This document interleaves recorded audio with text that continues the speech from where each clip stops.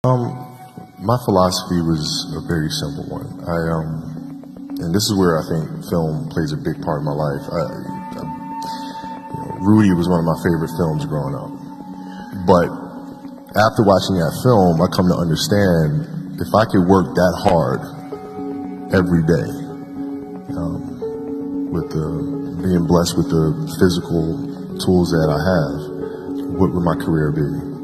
And I made a promise to myself from that day that I was going to work that hard every single day so that when I do retire, I have no regrets.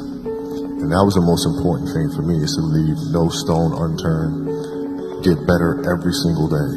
And if I lived that way, then over time, you know, I'd have something that was beautiful. But that was my philosophy. It seems like a pretty simple one, but you know, if you live your life to just get better every single day, do that for 20 years, I mean, what do you have?